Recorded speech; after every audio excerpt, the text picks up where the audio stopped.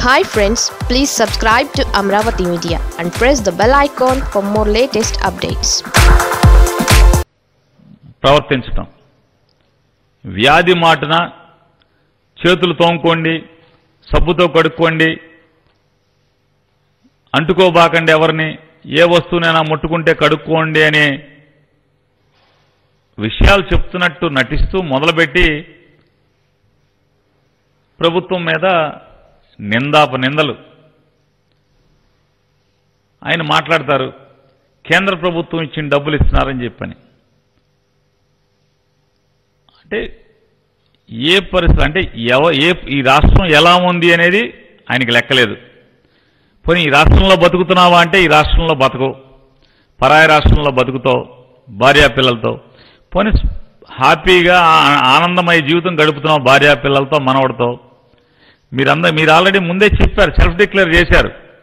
మోడీ గారికి భార్య పిల్లలు లేరు నాకు మాత్రం మనవడు ఉన్నాడు నాకు పదవి పోయిన ఆడుకుంటారు. ఆడుకోండి ఎవరు కాదనలేదు కదా.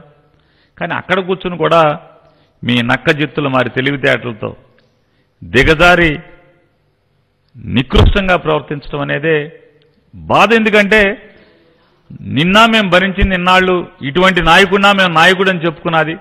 ఇటువంటి వ్యక్తినా మేము ముఖ్యమంత్రిగా ఇన్నాళ్ళు భరించింది అనేదే బాధ. ఇవాళ రాష్ట్రం అంతా కూడా లాక్డౌన్ ప్రకటించి ఉదయం ఆరు గంటల నుంచి పది గంటల వరకు స్వీయ నియంత్రణ అంటే ఆరు గంటల నుంచి పది గంటల వరకు కేవలం నిత్యావసర సరుకులకి మాత్రమే లాక్డౌన్ని రిలాక్స్ చేసి మిగతా సమయం అంతా కూడా మళ్ళీ పది గంటల నుంచి మళ్ళీ ఉదయం ఆరు గంటల వరకు కూడా కర్ఫ్యూ విధించి ఎవరికి వాళ్ళు స్వీయ నియంత్రణ చేస్తూ ఈ వ్యాధిని ఎక్కడా కూడా వ్యాప్తి చెందకుండా అనుమానితులందరినీ కూడా రాష్ట్ర వ్యాప్తంగా ఇరవై వేల క్వారంటైన్ బెడ్స్ ఏర్పాటు చేసి అంటే ప్రతి ప్రతి నియోజకవర్గానికి మినిమం వంద బెడ్స్తో క్వారంటైన్ కేంద్రాన్ని ఏర్పాటు చేసి ఊరు చివరన్నట్టు ఒక ఇంజనీరింగ్ కాలేజీనో ఒక పాలిటెక్నిక్ కాలేజీనో ఏదో ఒక కాలేజీని వసతులు కలిగినటువంటి కాలేజీని లేదా ఏదో ఒక వసతులు కలిగినటువంటి కేంద్రాన్ని బిల్డింగ్స్ అన్ని కూడా తీసుకుని ప్రభుత్వం స్వాధీనం చేసుకుని దాంట్లో వంద మంచాలు ఏర్పాటు చేసి ఆ వంద క్వారంటైన్ మంచాలు ఏర్పాటు చేసినటువంటి ప్రతి నియోజకవర్గంని లెక్క పెట్టుకుంటే ఇవాళ రాష్ట్రంలో ఇరవై వేల పైచీలకు క్వారంటైన్ బెడ్స్ ఉన్నటువంటి అప్రమత్తతో రాష్ట్ర ప్రభుత్వం పనిచేస్తుంటే. దీనిలో ముందు ముందుగా విదేశాల నుంచి వచ్చినటువంటి వ్యక్తుల్ని ట్రాక్ చేస్తూ కేంద్ర ప్రభుత్వం మనకిచ్చినటువంటి లెక్క కంటే కూడా ఎక్కువగా మనం అంటే హైదరాబాద్ అడ్రస్తోనో మెడ్రాస్ అడ్రస్తోనో ఎక్కడో అడ్రస్తో పాస్పోర్ట్ తీసుకుని ఇక్కడ వచ్చి ఉంటున్నటువంటి వారందరినీ కూడా ఇవాళ వా- మనకున్నటువంటి జగన్మోహన్ రెడ్డి గారికి ఏర్పడినటువంటి వాలంటీర్ల వ్యవస్థ ద్వారా ఇల్లు జల్లెడబట్టి మన దగ్గర ఇరవై ఎనిమిది వేల మంది ఫారినర్స్ వచ్చారు మన దగ్గరికి అని చెప్పిన లెక్క తేల్చుకుని వారందరినీ కూడా వారి హెల్త్ని ట్రాక్ చేస్తూ ఎప్పటికప్పుడు నిత్యం ప్రతినిత్యం కూడా వారి ఆరోగ్య పరిస్థితులన్నీ కూడా ట్రాక్ చేస్తూ ఎవరి మీద అనుమానం వచ్చినా వారిని క్వారంటైన్ చేస్తూ ముందుగా వారిని హౌస్ క్వారంటైన్ చేయటం హౌస్ క్వారంటైన్లో ఉన్న వారిని ఆరోగ్య స్థితిగతిలో ఉన్న మార్పులు వస్తే ఈ కరోనా వైరస్ వ్యాధి సోకినప్పుడు వచ్చేటువంటి లక్షణాలు కనుక ఉండుంటే వారిని ప్రభుత్వ క్వారంటైన్లోకి షిఫ్ట్ చేసి ఒకవేళ వాది వ్యాధి నిర్ధారణ అయితే నిర్ధారణ అయిన వారిని కోవిడ్ హాస్పిటల్కి ట్రాన్స్ఫర్ చేసి వారి వైద్యాన్ని చేయించే పరిస్థితులు ప్రభుత్వం ఉంటే ఇంత అప్రమత్తతగా ఉంటే మరి ఇవాళ ఆయన గంట నలభై నిమిషాలు ఆయన చెప్పినటువంటి పురాణం మనం ఆయన బాధ ఏంటో అక్కస ఏంటో నాకు అర్థం కాని ఏంటంటే అంతర్జాతీయ తీవ్రవాదికి మనస్తత్వానికి చంద్రబాబు నాయుడు మనస్తత్వానికి తేడా మనకేం కనపడతలేదు. అంతర్జాతీయ తీవ్రవాదులు కూడా వారికి మానవత్వం ఉండదు. ఇక్కడున్న పరిస్థితులు వారికి అనవసరం. ఈ ఈ దేశంలో ఉండరు. బయట దేశంలో ఉంటారు ఎక్కడో దాక్కుని. ఆ దేశం ఆశ్రయం పొందుతారు. అక్కడ దాక్కుని అక్కడి నుంచి ఇక్కడ ఆపరేషన్స్ చేస్తుంటారు. ఇక్కడ బాంబులు పెడుతుంటారు. ఇక్కడ రకరకాల వైరస్లు వ్యాప్తి చేస్తుంటారు. మానవత్వం లేదు మానవీయ కోణం ఉండదు. మనుషులు పోవటమే కావాలి. ప్రతి సావులో కూడా లాభం ఎదుర్కొంటారు. ఈ సావుకు మేమే కారణం అని చెప్పి డిక్లేర్ చేస్తుంటారు. వారికి చంద్రబాబు నాయుడు గారికి మనస్తత్వానికి ఏం తేడా కనపడతలేదు. హైదరాబాద్లో కాపురం ఉంటున్నారు. ఉండండి హ్యాపీగా. పెద్ద కోట బంగ్లాలో ఉంటున్నారు. అయినా మాకు ఈర్ష్య లేదు.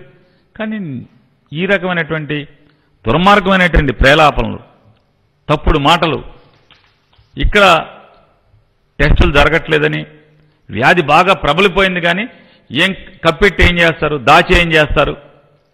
గుట్టుగా ఉంచి ఏం చేస్తారు? వ్యాధి బాగా ప్రబలిపోయిన తర్వాత ఎక్కడ ప్రబలింది?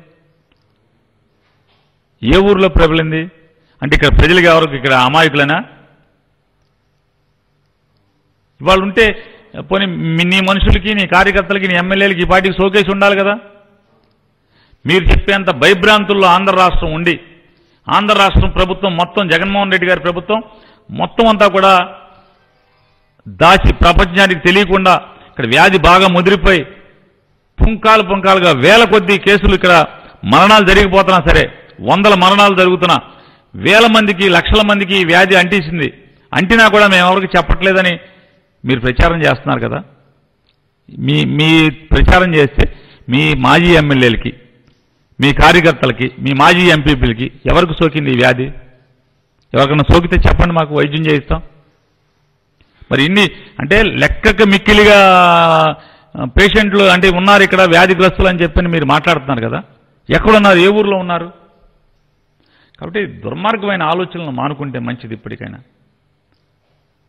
కరోనా వ్యాధి పేరుతో ఇవాళ రాష్ట్ర ప్రభుత్వం అంటే ముఖ్యమంత్రి గారు చెప్పిన ప్రతి మాటని ఆయన తీసుకున్న నిర్ణయాలన్నీ కూడా పోలీసు వ్యవస్థలో ఒక హోంగార్డ్ దగ్గర నుంచి ఒక కానిస్టేబుల్ కానీ హెడ్ కానిస్టేబుల్స్ కానీ ఎస్ఐలు కానీ లేదా సిఐలు కానీ డిఎస్పీలు కానీ ఎస్పీలు కానీ ప్రతి ఒక్కరూ కూడా కంటి మీద నిద్ర లేకుండా ఇరవై నాలుగు గంటలు కాకి బట్టలతో రోడ్డు మీద ఉద్యోగం చేస్తుంటే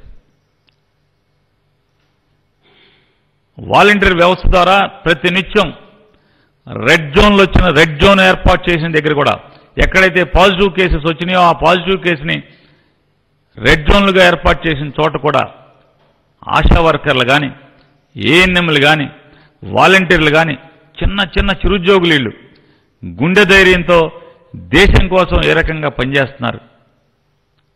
వారందరూ అంత సేవ చేసి ఈ వ్యాధిని అరికట్టే పనిలో వారు ఉంటే మున్సిపాలిటీలో పనిచేస్తున్నటువంటి శానిటరీ ఇన్స్పెక్టర్లు కానీ శానిటరీ మేస్టర్లు కానీ శానిటరీ కా- కార్మికులు కానీ వాళ్ళ ప్రాణాలని పణంగా పెట్టి ప్రతినిత్యం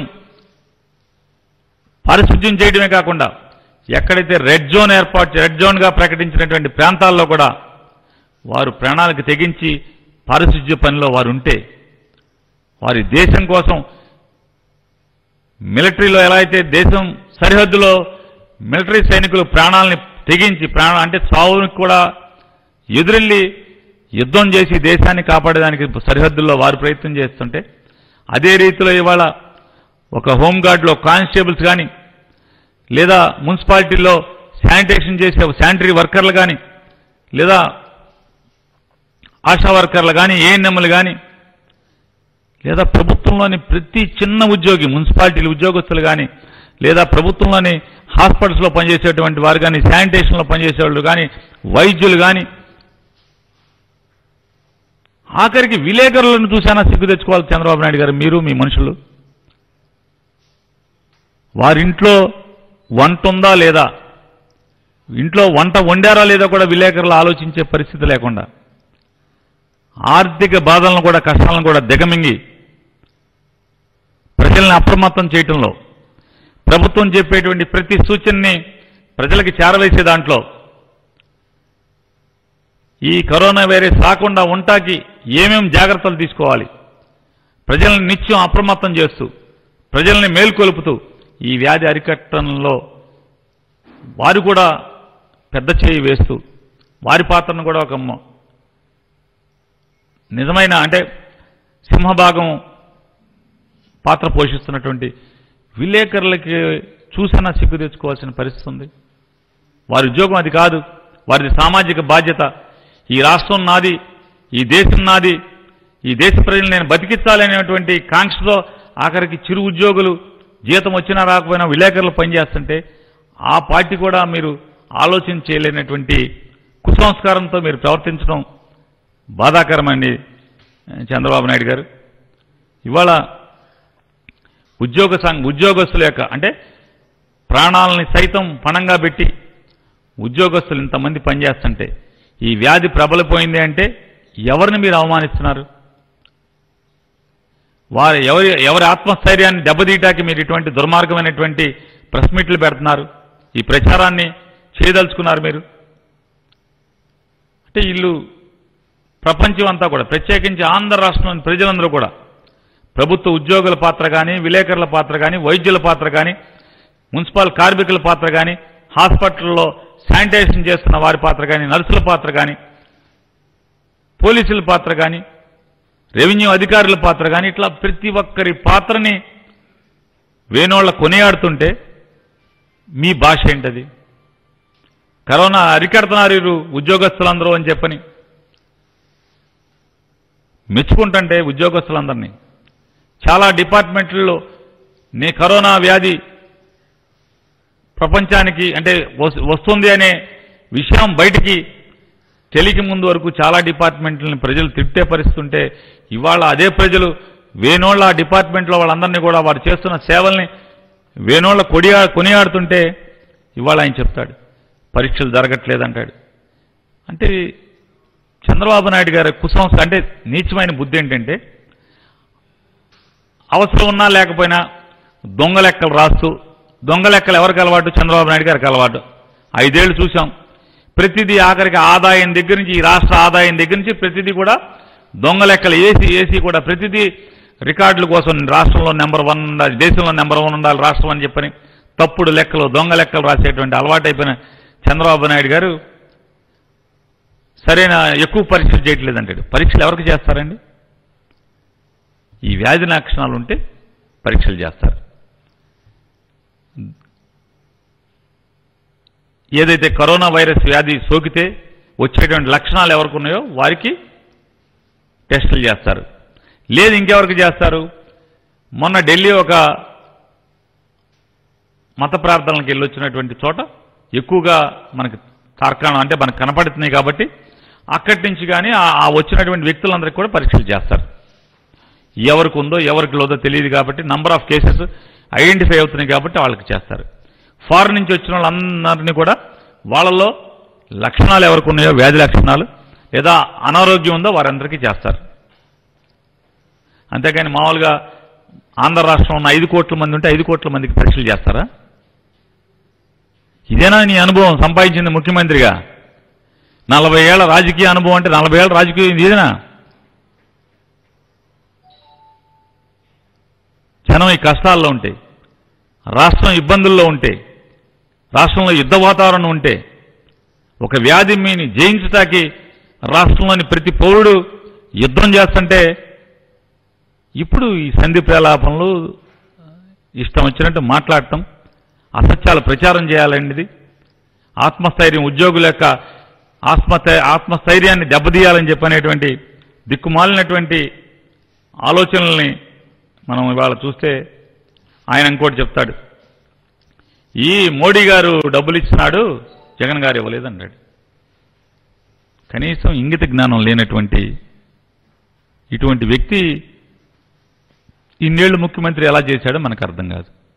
ఇంగిత జ్ఞానం కంటే అన్ని ఆయన ఆయన కోల్పోయేది ఏంటంటే రాజకీయమే కావాలి. ఎక్కడైనా రాజకీయం కావాలనేటువంటి దిగజారిన మనస్తత్వం ఉండటం వల్లే ఇటువంటి మాటలు ఆయన నోట్లోంచి వచ్చే పరిస్థితి ఉంది. మోడీ కేంద్ర ప్రభుత్వం ఏ డబ్బులైనా సరే బ్యాంక్ అకౌంట్లో వేస్తుంది. ఈ రాష్ట్రంలో ఉన్నటువంటి మొత్తం జన్ధన్ అకౌంట్ల సంఖ్య సుమారు ఒక అరవై లక్షల అకౌంట్లు ఉన్నాయి. ఆ అరవై లక్షల అకౌంట్లలో కొన్ని అకౌంట్లకి ఐదు వందల పడిని ఇంకా కొన్ని అకౌంట్లకి జమ అవ్వలేదు. ఇవాళ జగన్మోహన్ రెడ్డి గారు ప్రభుత్వం ఇచ్చినటువంటి వెయ్యి రూపాయలు ప్రతిదీ వాలంటీర్ల ద్వారా వారి చేతికి నగదు అందజేయటం జరిగింది.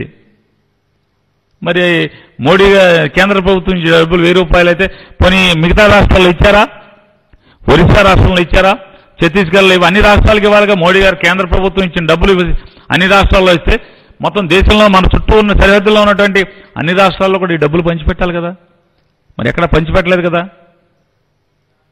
కేవలం ఆంధ్రప్రదేశ్ రాష్ట్రంలో మాత్రమే వెయ్యి రూపాయలు ఇప్పటికే ఒక కోటి నలభై ఏడు లక్షల మందికి నలభై ఒక కోటి నలభై ఏడు లక్షల కుటుంబాలకి ఈ వెయ్యి రూపాయలని అందించే కార్యక్రమం జగన్మోహన్ రెడ్డి గారి ప్రభుత్వం చేపట్టి ఇప్పటికే ఒక కోటి ముప్పై ఐదు లక్షల కుటుంబాలకి నగదు చేరవేసి రేపు బుధవారం సాయంత్రానికి మొత్తం ఒక కోటి నలభై ఏడు లక్షల కుటుంబాల మొత్తానికి కూడా ఈ వెయ్యి రూపాయలు అందించేదానికి టార్గెట్గా పెట్టుకుని ప్రభుత్వం పనిచేస్తుంటే ఈ రకమైనటువంటి దుర్మార్గమైనటువంటి మాటలు మాట్లాడేటువంటి వ్యక్తులు. ఈయనొక్కడే కాదు బీజేపీ నాయకులు కూడా దిగజారి మాట్లాడే పరిస్థితి.